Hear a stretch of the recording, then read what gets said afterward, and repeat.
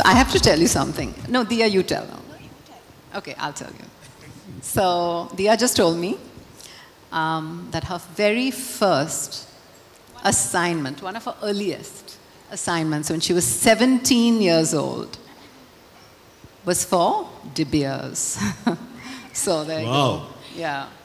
That was like five years ago, right? Six. I love you, Gaurav.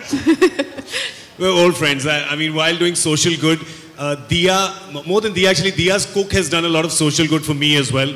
We've been neighbors for a long time, and when I was young and kitchenless in Mumbai, her cook used to make lovely dosas for us. So I think this started a long time ago. I think that was your first emotion of seeing social good happening. That, that was my first experience in social good. And from there on, you decided to save tigers and, of course, do a lot more things. Yes. But you, of course, are, are an avid supporter, an ardent supporter of the efforts of the Swadesh Foundation. So tell us about how you've seen Ronnie and Zarina sort of passionately get involved in this over the last few years. Good evening, everyone. Thank you so much for having me. Thank you, Swadesh, for yet again allowing me to come here and uh, cheer for you because uh, I feel a great sense of pride every time I get the opportunity to. Um, you know, uh, growing up, there's always a sense of um, participation one would like to feel. I mean, your school encourages you, and then your college does. At home, I was encouraged, and I always felt a great sense of uh, happiness every time I came back after doing something that I knew was making a difference in somebody's life. And um, I would often wonder when does that stop? And, uh, and then you grow older and you realize uh, it stops when you become busy with yourself and uh, expanding your own life ambitions and going on to doing the very many things that you want to do, the goals you want to achieve. And somewhere along that process of I, uh, that participation and that, that fantastic feeling that one gets in, in participating with more people than just yourself uh, starts disappearing.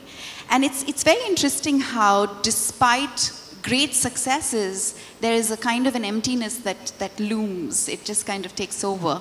And I think what Ronnie and Zarina are examples of are individuals who grew um, as individuals first and then as an organization, but they never, said, they never lost sight of that very important aspect of being uh, and being contented individuals, you know, and, and remembering that the only way they can be truly happy is if they're making a difference. Uh, and I know that that has more to do with Zarina than it does with Ronnie. No, no, no. no. Oops. no. Bec- okay, she, she will, of course. Uh, you're all heart, Zarina. And I know that without him, your heart would not beat. But, uh, and you agree with me, right, Ronnie? Yeah. So, anyway, let's go back to the story. and uh, when they first called me and told me about what they were doing with Swadesh, I was just blown away. I was uh, so amazed at uh, their intention.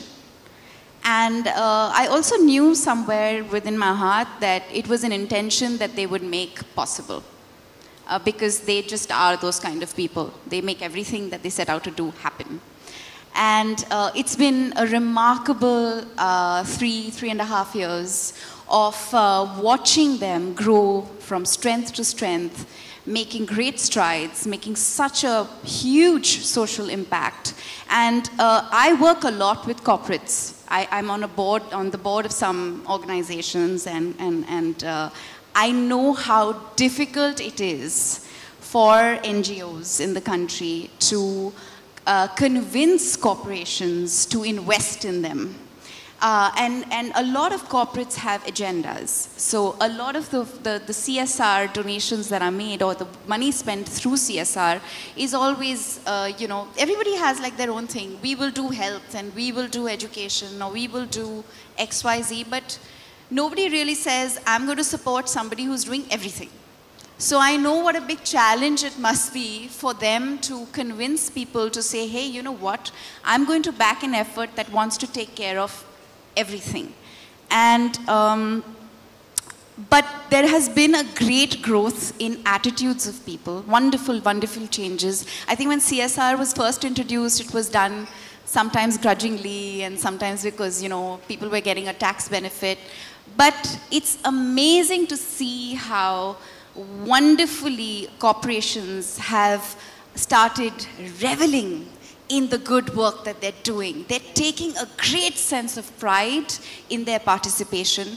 They're really, really proud about their accomplishments because, you know, when you reach out and you make a difference and you start seeing results, it really puts a sense of uh, goodness in you. And, and I think it's also transforming the way companies operate in India and the way people, individuals, uh, are, are even approaching their own lives. So it's wonderful times in India. There's a lot of work to be done, and I'm just so happy I'm sitting in a room full of people who are doing that work. And uh, thank you, uh, Zarina and Ronnie, for inspiring change because, you know, it's a wonderful thing to hear great stories but it's another thing to see people in action, see people doing the work. And um, I think the only legacy that all of us are always looking for is a great story, right, to leave behind. And I think that those stories are changing every day. They're becoming more about we and less about I. Fantastic. There's, I mean, and you are leaving a million stories behind and a million stories every five years. And that's something I think that should inspire and motivate everybody. And Ronnie, like you rightfully said, it's not just about giving money, it's also about giving time. It's sweat equity yeah. and being there. Uh, yeah, Dia. One thing I quickly want to add, sure, sure. because they both spoke about their volunteer group, and, and that's something that I find is so remarkable because there are people from cities, urban centers and of course rural centers who have who are part of Swadesh because they want to give, they want to share their skills. Hmm.